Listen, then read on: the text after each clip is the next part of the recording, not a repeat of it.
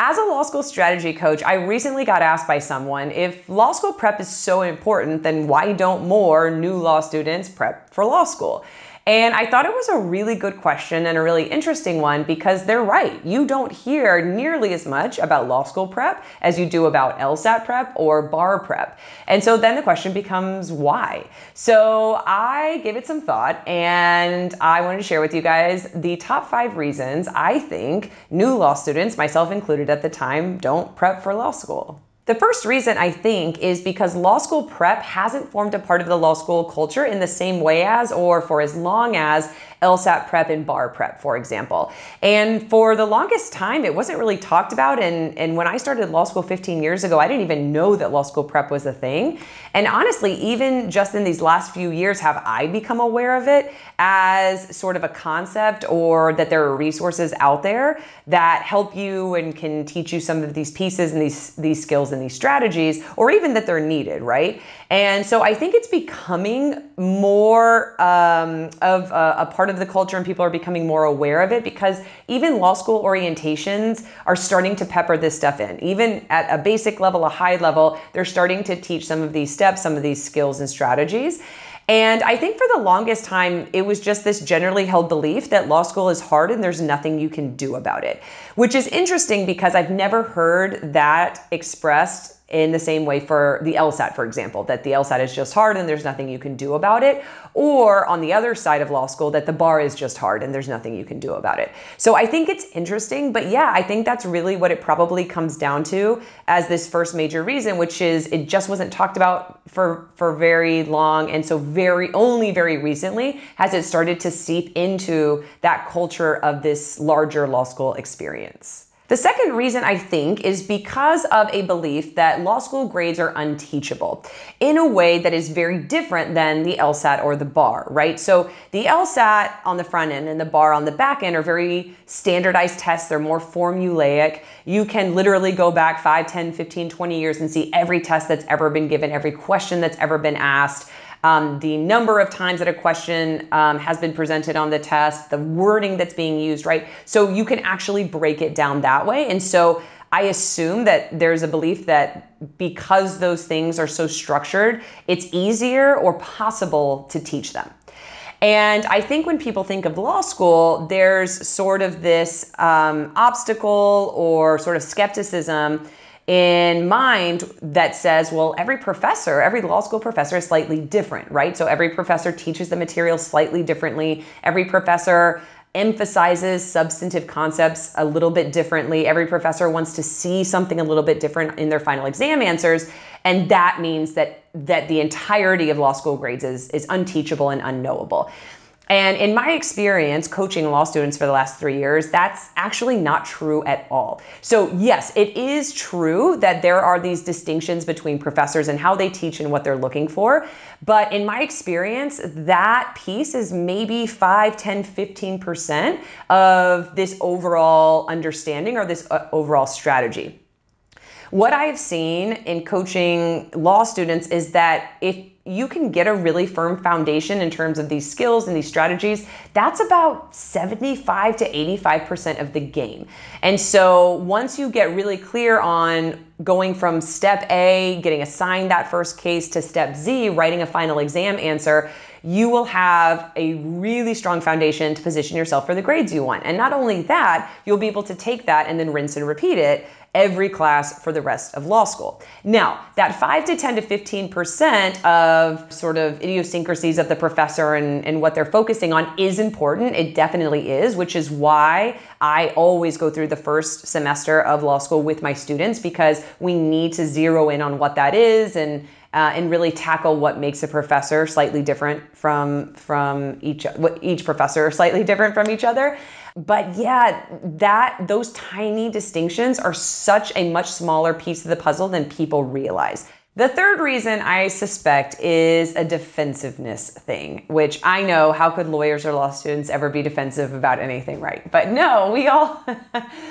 we all want to believe that we did it right, right? So I think, again, because we talked about law school prep not being a thing until very recently, and, and even now not being um, an incredibly widespread thing that a lot of people do, most, by default, most of the lawyers and law students you'll talk to won't have prepped.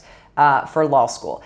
And so, because every one of those individuals, myself included, have gone through law school and become lawyers, I think that there's this sort of default assumption that there's nothing you can do to prepare for law school, or there's nothing you need to do to prepare for law school, right? Because we all went through it, we all survived, we all came out the other side, and we didn't prep. Henceforth, you don't need to prep, right? And so I think it's easier to give that response. Um, and I know that because I gave that response for years and years of, no, of course, there's nothing you need to do to prepare for law school. There's nothing you can do to prepare for law school, even if you wanted to.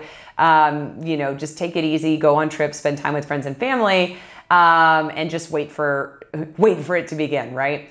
Um, and I think it's just easier to say that than it is to sort of sit and and critically think and reflect on, well, is there anything that I could have known ahead of time that would have helped, or there any skills that I wish I had um, developed or practiced before day one of law school? And I just don't think. Um, as law students or as lawyers, we spend a lot of time thinking about that because, you know, we're busy being law students and lawyers, and there's just a lot of other things um, that are capturing our, our time and attention. And so it didn't even really occur to me until I started to get a lot of questions from law students and, and law students reaching out to help uh, for help to even consider is there something that can happen before law school begins that that would be helpful that would be empowering that would give you confidence that would shed light on what this whole law school thing is about the fourth reason is a logistical one, which is this proximity in time. So we have all just found out that we got into law school, right? We've crossed this huge finish line, had this major accomplishment,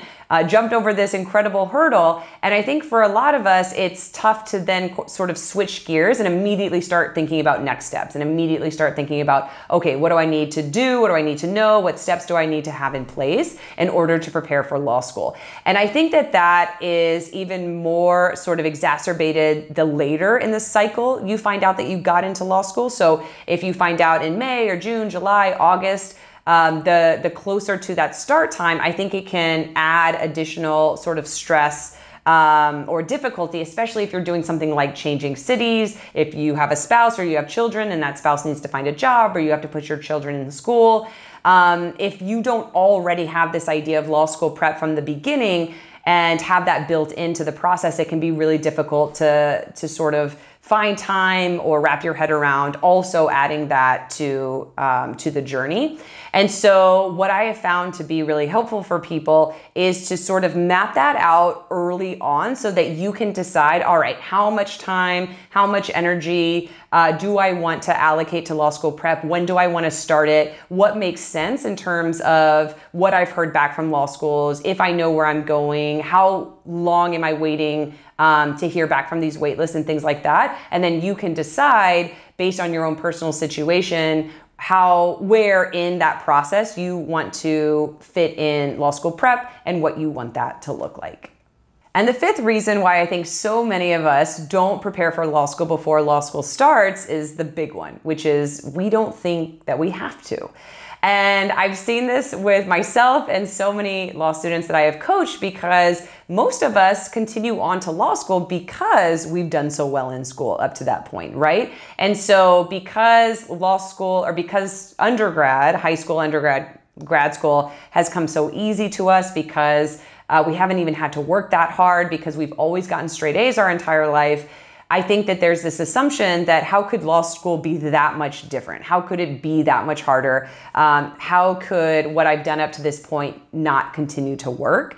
And so I think it's kind of a testament to um, the aspects of law school not being talked about that much. And I think that goes hand in hand with law school prep not being talked about that much because there's sort of this gap in, in understanding and this gap in knowledge about how law school is taught, how law school is tested, the strategies to use uh, to prepare yourself for the grades that you want. And so I think that for a lot of us, we sort of walk in with this false sense of confidence that we're going to be at the top of the class by default, just because we've always been at the top of the class. And so as a law school strategy coach, what I will often tell my students is that getting good grades in law school isn't about being the smartest person in the room and it isn't about a history of good grades. It's about strategy. It's all about strategy. And in my experience, learning that strategy before you start is such a favor to your future self because now you know exactly what is going on, you know exactly what to do, and so you can hit the ground running on that first day of class without losing any time, without having your energy or your focus going in a million different directions. So I know I've talked a lot about law school prep in this video. If you guys are curious about what those strategies look like, definitely check out my free Beat the Curve guide. It walks through the five step study plan that I teach all of my students of how to actually break down the process from getting that first case to taking that first final exam and what that actually looks like. So I'll definitely drop the link in the comments below if you guys want to check that out.